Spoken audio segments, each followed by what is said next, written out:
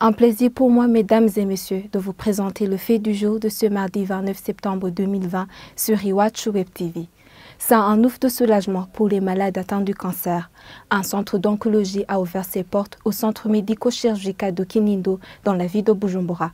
C'est un centre de traitement du cancer fonctionné depuis trois mois. Les personnes atteintes du cancer étaient obligées de se faire soigner à l'extérieur, notamment au Rwanda, et à un coût élevé. Un reportage de Dorini Ugeko et Fabrice Nzohabonayo. Depuis trois mois, le centre médico-chirurgical de Kinindo, CMCK, au sud de la ville de Bujumbura, accueille des patients atteints du cancer. Une bonne nouvelle chez les Burundais atteints du cancer qui devaient payer très cher pour aller se faire soigner à l'étranger, notamment au Rwanda, comme le témoigne ce patient atteint du cancer du côlon sous chimiothérapie. Auparavant, euh, j'étais allé au Rwanda pour me faire soigner.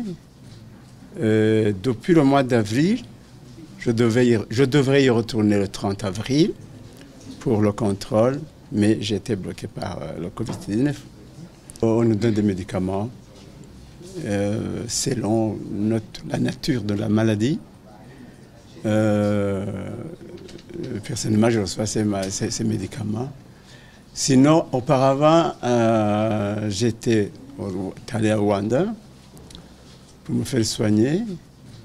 Euh, depuis le mois d'avril, je, je devrais y retourner le 30 avril pour le contrôle, mais j'ai été bloqué par euh, le Covid-19. Alors, n'y était ce service, je ne sais, pas qui je serais. Il m'aide, il m'épaule, il aide. Mais après, je, suis en train de subir la chimiothérapie aujourd'hui. Ça fait euh, quatrième séance. Euh, après, euh, je subirai aussi un contrôle. Le centre d'oncologie a déjà accueilli plus de 75 patients durant ces trois mois.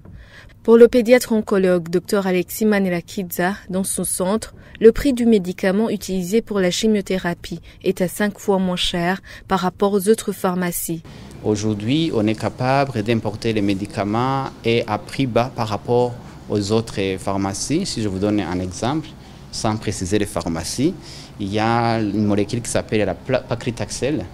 Euh, paclitaxel, quand je suis venu, il y avait des malades qui achetaient à 590 000, 590 000 francs burundais. Aujourd'hui, avec ce circuit direct d'ici à, l'Inde, euh, ce médicament, les malades peuvent avoir ce médicament en flacon à 81 000 francs. Vous voyez quand même que c'est quelque chose qui a changé. Alors, nous avons déjà autour de 30 patients qui sont sous chimiothérapie euh, intraveineuse et nous avons autour de 45 patients qui sont sous chimiothérapie orale. Donc, au total, on est autour de 75 patients sur les trois mois. Après la chimiothérapie, donc, il fallait euh, former le personnel. Donc, j'ai formé les infirmiers. Il y a une équipe des infirmiers qui est formée ici pour l'administration de la chimiothérapie. Le souci qui nous reste, il faut que les assurances prennent à main euh, leurs problèmes. Euh, parce qu'il y a des malades qui sont là, euh, le traitement est disponible, mais qui ne peuvent, peuvent pas accéder à ce traitement. Le centre d'oncologie du CMCK compte plus de 30 chambres. Jusqu'ici, aucune assurance maladie ne peut prendre en charge les traitements du cancer au Burundi. Les malades atteints du cancer demandent au gouvernement de résoudre ce problème. Et c'est par ici que nous bouclons ce fait du jour. À bientôt.